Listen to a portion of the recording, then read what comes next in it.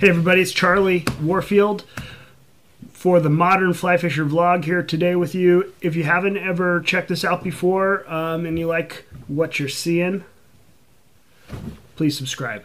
I appreciate it. Today we're going to talk about this. This is the chit. Don't worry. That's C-H-I-T. I wouldn't cuss.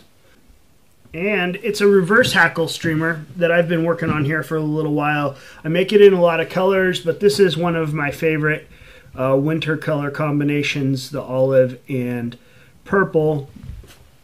The idea behind this fly came from doing some rod tests and um, trying to cast some too big of streamers with smaller rods. I, I like to fish streamers, sometimes very large. And, you know, even with a heavier weight, even when I'm fishing like my seven weight, the the wind resistant flies are a pain in the butt to cast. Um, and so the idea behind this is this is going to be a high profile fly, large profile in the water, but it's going to cast really nice. And it's been working out really well for me. Um, I caught some pretty, well, a pretty awesome fish on this exact fly. In fact, it was this very fly um, earlier this week. I'll show to you.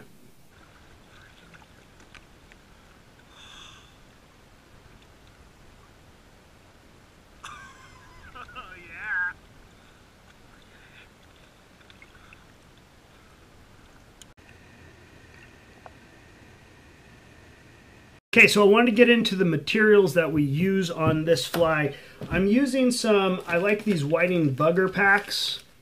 This is great stuff, really high quality um, hackles for wet flies and and streamers especially. So we're using this uh, olive and then we're using purple as well. Those, you're going to use some of those. I have a pearlescent um, crystal mirror flash and then an, a purple crystal mirror flash. You could probably get away with just using one color. And Saber 7060 giant huge gap it's it's almost like a bass bug fly but I love it because when a fish hits you're not you're not fighting the fly. This is just a huge gap on there for getting the big fish. And then finally we have a brass cone head, quarter inch brass cone head. That's it. Very simple, very few ingredients, and it's a pretty quick tie. So let's get right into it. I'll show it to you. You want to put your bead on backwards for this one. We're creating a large profile with a small amount of material.